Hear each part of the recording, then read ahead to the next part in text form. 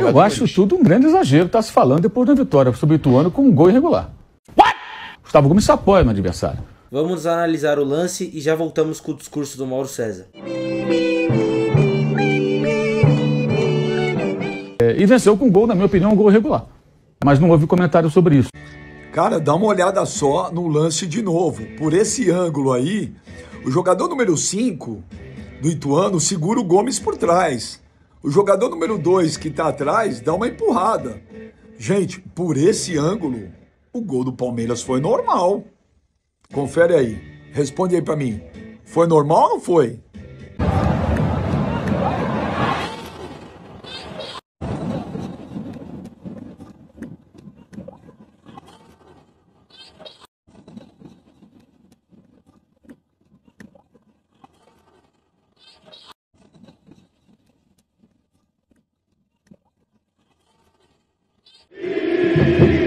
Libertadores!